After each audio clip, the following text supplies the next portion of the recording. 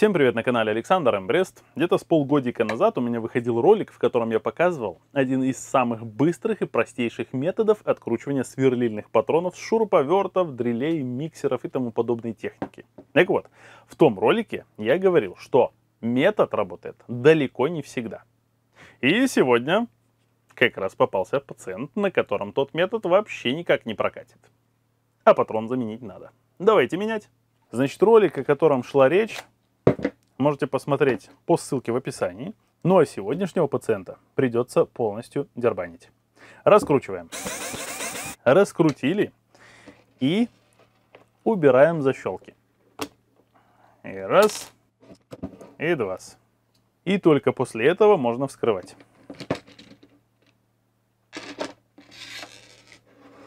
Эх, лепота. Ладно, давайте доставать редуктор. Сняли редуктор и разбираем его. Разбираем полностью. Отщелкиваем неподвижный венец и высыпаем содержимое. Вот так вот. По сути, пол дела сделано. Обратите внимание, у нас появился прямой доступ к валу. Осталось только за него аккуратно цепануться. Цепануться аккуратно можно с помощью вот такого спецпереходника. С одной стороны у нас идет вот такой вот крепеж подвал, со второй стороны идет крепеж под трещотку. С квадратом 1 вторая. Если вы уже догадались, что это за переходник, можете писать об этом в комментариях. Я же расскажу, из чего он состоит и как его сделать после того, как откручу патрон. Делаю я это не просто так. Досматривайте ролик. Приступаем к откручиванию патрона. Фиксируем патрон, в моем случае коброй. Ну и, естественно, берем наш переходник с большой трещоткой. Ну и откручиваем. Вот так. Обратите внимание, владельцы данного шуруповерта пытались патрон спилить и повредили вал немножко. Ну, не принципиально, все будет работать, но тем не менее, ребят, вы, когда пытаетесь спилить патрон, вы хотя бы меряете, на какой глубине находится вал. Ладно, я думаю, вам значительно интереснее послушать про спецпереходник. Смотрим. Вот это вот родная водила с разобранного нами шуруповерта, которая вот устанавливается на наш вал, ну и, соответственно, крутится. Вот это вот идентичная водила которую я вставил в головку на 19 и использовал как переходник. Почему я решил рассказать о том, что это, после того, как сниму патрон? Да потому что, ребят, иногда патроны очень-очень-очень сильно зажаты, и вы можете повредить свою водилу. То есть такой способ откручивания больше подходит для сервисных центров. Почему, спросите вы? Да потому что в любом сервисном центре вот этих вот водил в буквальном смысле гора. Они вообще не изнашиваются, они вообще не ломаются. У меня таких в буквальном смысле целый ящик. Ну, не идентичных, а под разные модели шуруповертов. Там просто их тучи. Поэтому, если вы собираетесь откручивать свой патрон таким методом, будьте осторожны. Не обломайте ничего на своей водиле. Ну, вот примерно так. Тут у меня на замене еще один аналогичный бошек. Давайте его тоже, пожалуй, открутим тем же методом. И приступим к сборке нашего клиента.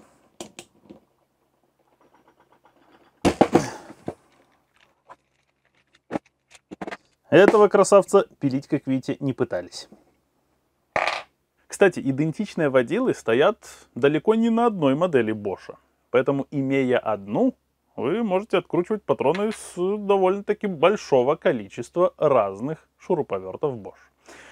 Ну да ладно. Значит, после сборки вот этого шуруповерта я вам покажу спецпереходник на кое-какой макитовский шуруповерт. Поэтому досматриваем ролик до конца. Ну а мы приступаем к сборке нашего GSR 12V30. Берем нижнюю часть корпуса редуктора, Вставляем блокировочку. Затем вставляем бочонки. Ставим водилу. И ставим по местам шарики. После этого можно ставить нижний венец. И устанавливать сателлиты. После этого ставим перегородку и неподвижный венец. Защелкиваем венец и продолжаем сборку. Ставим водилу, подвижный венец и сателлиты. Ну и все. Осталось буквально пару деталюшек. Верхняя водила с сателлитами и встроенный в корпус венец.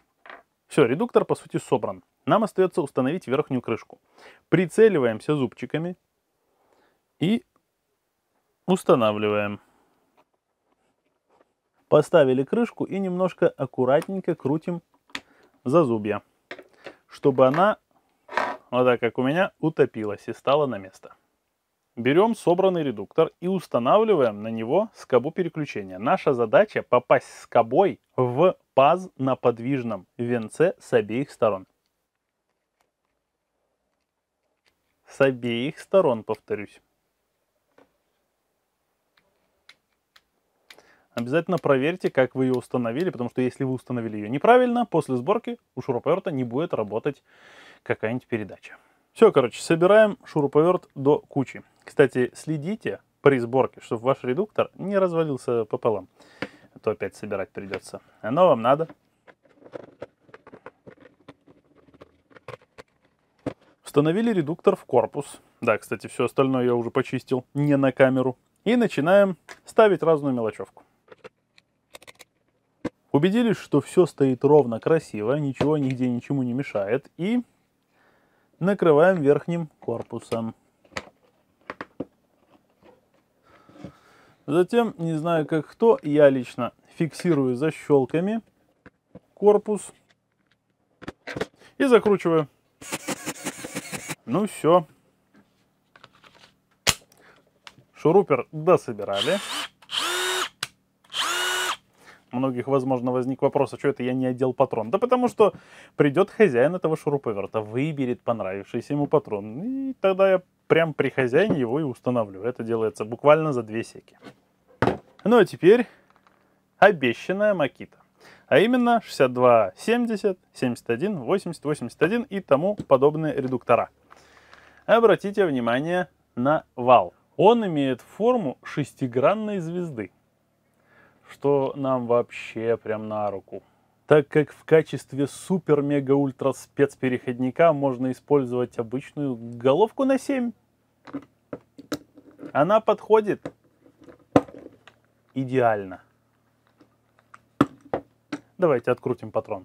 Да, кстати, я забыл сказать. Во всех шуруповертах перед тем, как откручивать патрон, я выкручивал контрилу. Ну, это вы должны знать еще с предыдущего ролика по ссылке в описании. Приступаем к откручиванию.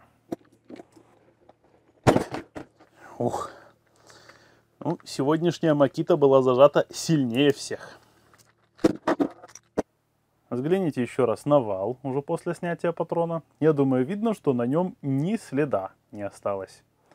Головка на 7 подходит идеально. Повторюсь, ссылка на первый ролик по теме откручивания патронов в описании. Обязательно его заценивайте, ну и, естественно, делитесь всеми остальными роликами, если хотите, чтобы я их дальше снимал. Ну и хватит.